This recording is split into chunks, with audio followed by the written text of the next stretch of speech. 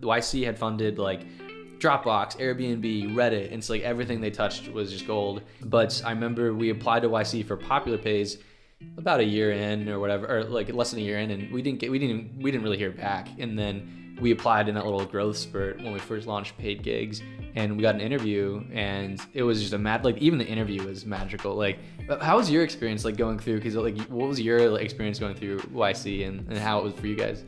So people listening, Y Combinator is like an accelerator program in Mountain View, California. A lot of big companies, Airbnb, you mentioned them, Dropbox, and there's a there's a ton of other ones. Stripe. Stripe, yeah. yeah. For for me, it was really cool, man. It was like you're meeting these legends, right? These Yeah. like Justin Kan, who started Twitch. Um, Paul B. I can't pronounce Paul the last name. Bouchet, Bouchet, like the founder, the founder of How do you pronounce it? Bouchet. Bouchet, yeah. Yeah, Bouchet. And, Um, and so you're meeting all these like legends, and you realize there's two things, right? They're just people. It's almost Yeah. like meeting a celebrity. Yeah. So, so you're like, oh, this person is uh, just a human. yeah. And you realize their gifts aren't, and this is not to be disrespectful. It wasn't intellect. It was persistence. Yep. It was like they just had a vision, or were super passionate, and were very persistent Yep. to the point of not quitting. And then you get to ask them for advice. Yeah. And uh, Michael Seibel, who's now the the CEO Mm-hmm, he also like co-founder of twitch i just loved him because he'll spend 10 seconds with you and tell you like your idea is shit or like he'll just like candidly say like you're fucked like he'll draw you a curve like this is where you think you are and, this, and then he does like a cliff and he's like this is where you're actually So the best advice is always the ones where it's like a gut punch. Um, yeah, yeah. And so the way I think about Y Combinator is like these guys are guardrails, or I used to use the reference, they're bumpers when Mm. you're bowling, right? And they're just there to make sure you don't fall into the gutter. Good, it's good metaphor. Yeah. And and but it's wonderful, and Yeah. it's also so empowering because you realize they're just like you. Yeah. Right? They're they're super like I remember um, talking to Justin Kan. It was Alexis from Reddit that called us to say that we were in, and that's a whole other story. Like the interview, getting in, it was just like a Alexis magical. Serena Williams is Yeah, partner yeah. for those wondering. Yeah, so That's Alexis, a name drop. Ohanian, yeah. and so when he called me, I was like fanboying, fangirling, you know, because Yeah. I'm such a huge like Reddit user alone, like let alone that, but it's it's him.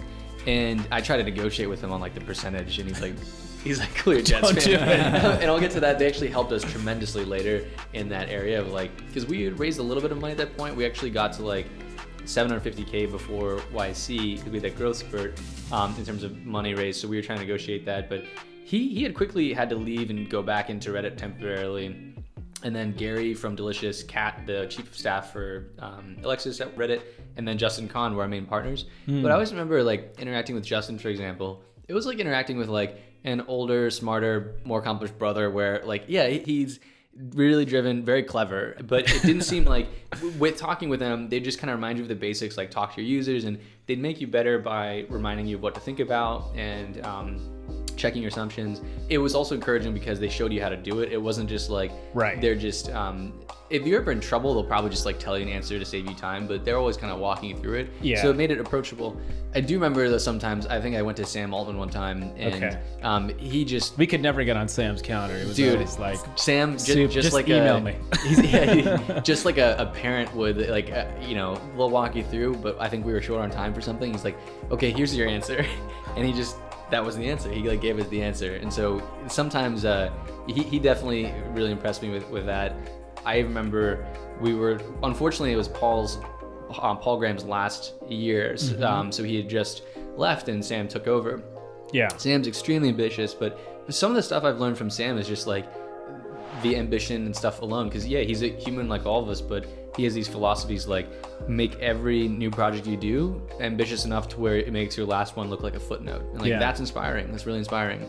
Yeah. I was just gonna say when we we had a meeting with Paul. So Paul had retired in some way, right? And um, he like opens his office hours. Office hours is just a time for you to schedule time to sit down with Paul. And Paul hadn't been around for most of The batch, The, the yeah. batch, yeah. And so he does it. And what happens naturally is like it just fills up. The schedule fills up. So Mm-hmm. we get like a four o'clock slot.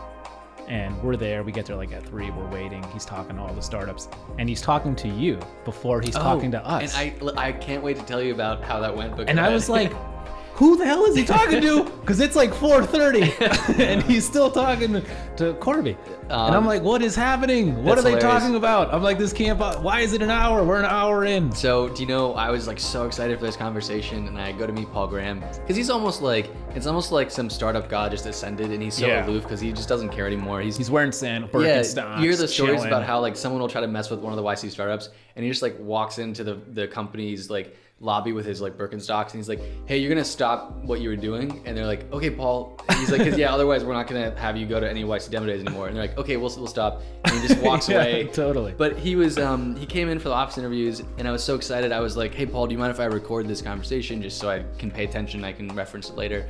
And he's like. Do you realize your shoes entirely match the carpet? And I was so not ready for that to be the first thing he said. And I looked down and it's kind of crazy. My shoes blended in completely with the carpet. And I was like, wow, you're, you're right. And that's how the combo kicked off. But he gave, you know, tremendous advice. But he almost was like, if you talk to Sam, he was almost like laser focused, helping you in the problem. But Paul almost like ascended to this point where he would ask me these questions, but he's like, but I mean, you know, what's what are you really trying to solve here for? Like, what's Right. the what, what are you really going for? Like, the point of life is to be happy, right? Like, and he'd almost bring it too far above like the realm of what we were focusing on. But he gave some really amazing thoughts on how to position things. Yeah, maybe when you thought he was uh, I going thought he was going to cancel our meeting. That Yeah. was my concern. I Yeah. was like, oh, he's running over. I really loved. I, I mean, I loved every minute of YC. I remember later, like a few weeks later, I was in the cafeteria for some reason, and uh, Paul and Sam were there, and Wow. um, Paul's like, "You're um, uh, you're Caruso drummer, right?" And I'm like, "That's close enough, Paul." Corbett Drummey, you know, you can call me many things, but it's close. Caruso drummer. Yeah, and so um, my teammate Pete, That's he uh, funny. people call me many things like you know Corby, whatever, uh, but he's the only one that calls me Caruso still.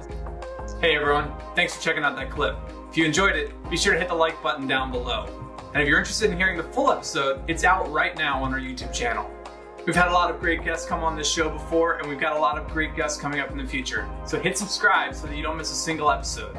And one final note, we're always looking for new ideas and new companies to feature on the show. So if you know of someone or know of a company, write us a comment down below letting us know who they are and what they do. We'd be happy to have them on the show. Till then, I'll just be here waiting for your comments. So, uh, see you later.